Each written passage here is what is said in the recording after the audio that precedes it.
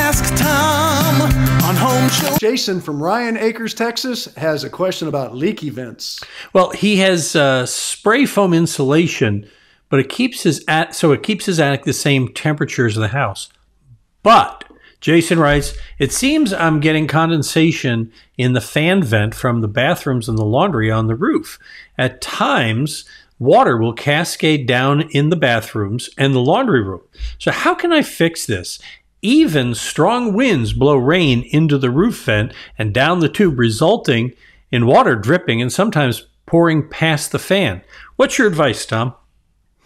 Well, I would probably, it, it seems to me that the ductwork is metal. I'd, I'd go ahead and replace it with one of the plastic uh, vents that they use on the back of dryers uh, so it doesn't get so cold. This is a problem with insulated attics. They hold way too much humidity, and you get anything that reaches dew point on the surface, inside or outside of that uh, uh, metal vent, it's going to sweat like crazy. It's not unlike a cold can of, of of beer or soda or whatever you're drinking outside. It's going to sweat without a koozie on there. So the bottom line is it's happening on the inside. So I would replace it, and I would probably not go through the roof at this point. I would take if it's a, a vent for a uh, bathroom, then it would go over to the soffit vents, lay right on the floor of the attic, and make it and, and replace it with that flexible plastic uh, venting that they use. It's it's like a Lamaflex. They use it for for dryers. Uh, that's going to be a lot more less susceptible to sweating. Yeah, I've heard you talk about this before that there's this myth that gets sold to homeowners about keeping your attic cooler because allegedly your AC will work better. But that's not really the role of the attic. Well, and and that's the, the real point is is is it cooler in the attic? Yeah. It's more humid in the attic? Yeah, because anytime you acclimate a space, you got to have to have it uh, dehumidify. You got to keep it's they only deal with the uh, sensible heat, which is hot, cold, not, the latent heat, which is the water, the moisture in the air, and they both create a problem. So you, what you do is you go from one kind of a problem to another.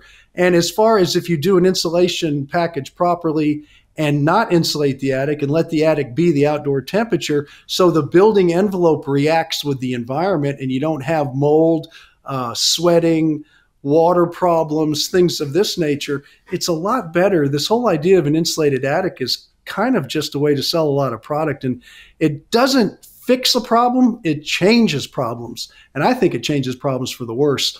And the farthest you get, the farther or the closer you get uh, to the coast or the farther away you get from the coast, uh, it becomes less of a problem. But the closer you get to the coast, it gets even worse. And to where you get into the Gulf Coast region or down in Florida, it's a mess. They don't even do this. And the people that do end up with real problems. So uh, if you don't have a humidity issue, you live in Arizona nobody really cares.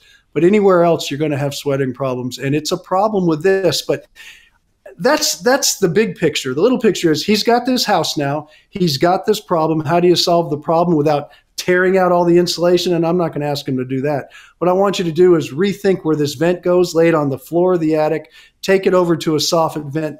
Forget the penetration, especially if they're leaking. Get a roofer to close them up because uh, you said the root the vents are leaking, and if they are, you got another problem there too.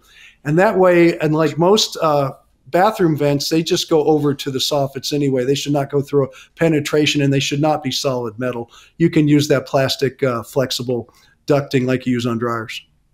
Now, there's a full answer. And you can get one to your question. No, I'm out of breath. Click on that Ask Tom button and fill out this form. So all you have to do is fill out the form, and Tom gives you the answer. And then the little minions around here edit it together and post it up, and we put it on our uh, home show doc, homeshowradio.com page, and of course the website and home YouTube on the uh, home show.